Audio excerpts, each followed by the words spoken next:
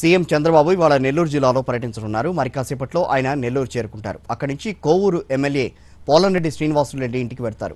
ఇటీవల వివాహమైన ఆయన కుమార్తె దివ్య నవదంపతులను ఆశీర్వదిస్తారు. తిరిగి పోలీస్ పెరేడ్ గ్రౌండ్కి చేరుకుని హెలికాప్టర్ ద్వారా ఏపీ జెన్కోకు చేరుకుంటారు. అక్కడ ఎనిమిది వందల మెగావాట్ల సామర్థ్యం గల మూడో యూనిట్కు శంకుస్థాపన చేయడంతో పాటు దామోదరం సంజీవయ్య థర్మల్ పవర్ ప్లాంట్ను జాతికి అంకితం చేస్తారు. ఆ తర్వాత అదే ఆవరణలో ఏర్పాటు చేసిన బహిరంగ సభలో కూడా పాల్గొంటారు. ఆ తర్వాత సమీపంలోని గాయత్రి పవర్ ప్లాంట్కు చేరుకుని ప్రారంభోత్సవాలు చేస్తారు. అక్కడే భోజనం ముగించుకుని తిరిగి హెలికాప్టర్లో తిరుగు ప్రయాణం కానున్నారు. సీఎం పర్యటనకు సంబంధించి అన్ని ఏర్పాట్లు పూర్తయ్యాయి. పటిష్ట పోలీస్ బందోబస్తు ఏర్పాటు చేశారు. చంద్రబాబు పర్యటనకు సంబంధించి మరిన్ని వివరాలు మా ప్రతినిధి షఫీ నడిపిస్తాం షఫీ చంద్రబాబు నెల్లూరు ఎప్పుడు చేరుకుంటారు? ఇవాళ ఏ కార్యక్రమాల్లో పాల్గొంటారు?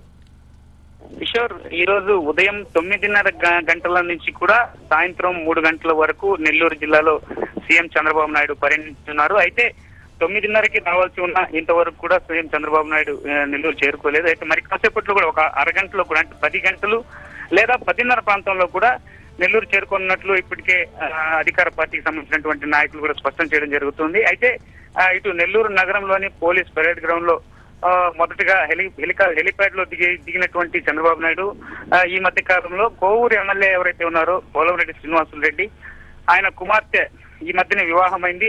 నూతన వధువరులను కూడా ఆశీర్వదించి అక్కడే కూడా టిఫిన్ చేయనున్నారు. అదేవిధంగా అక్కడి నుంచి మళ్ళీ తిరిగి రోడ్డు మార్గాన ఈ పోలీస్ పేడ గ్రౌండ్ చేరుకొని అక్కడి నుంచి నేరుగా జన్కో శ్రీ దామోదరం సంజీవయ్య థర్మల్ పవర్ ప్లాంట్లో కూడా నూతనంగా ఏర్పాటు చేయబడిన ఇప్పటికే ప- పదహారు కూడా ఆ, ప్రారంభోత్సవం చేయనున్నారు.